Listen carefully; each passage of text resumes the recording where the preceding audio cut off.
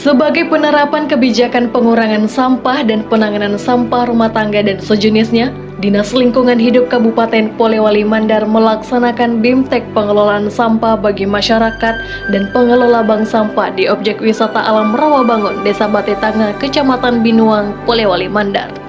Kegiatan ini difokuskan bagi kalangan pengelola sampah dan pemerhati lingkungan hidup. Edukasi terhadap pengelolaan bank sampah dianggap penting dalam rangka menumbuhkan partisipasi ke lingkungan keluarga, utamanya para ibu rumah tangga.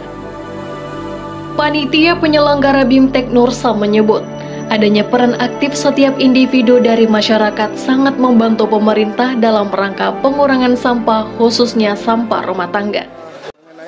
Tujuannya, uh, yang pertama yang paling inti adalah bank sampah maupun PTS Garet betapa pentingnya mengelola bank sampah kemudian di dalamnya itu ada nilai-nilai uh, ekonomi yang bisa didapatkan oleh mereka. Mewujudkan Polewali Mandar bisa yang merupakan akronim dari sejuk, indah, bersih dan nyaman dapat terwujud jika pengelola sampah dapat terbangun atas dasar kesadaran setiap rumah tangga. Harapan ini dikatakan Kepala Dinas Lingkungan Hidup Polewali Mandar, Rahmin.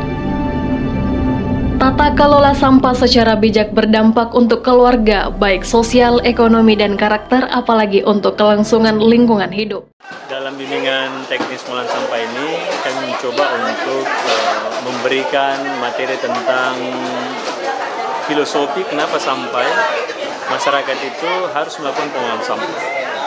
Nah, kenapa sampai filosofinya mereka harus pahami supaya mereka itu bergerak melakukan pengelolaan bukan karena dipaksakan, bukan karena uh, akan dikenai sanksi hukum, ya, tetapi betul-betul murni muncul kesadaran.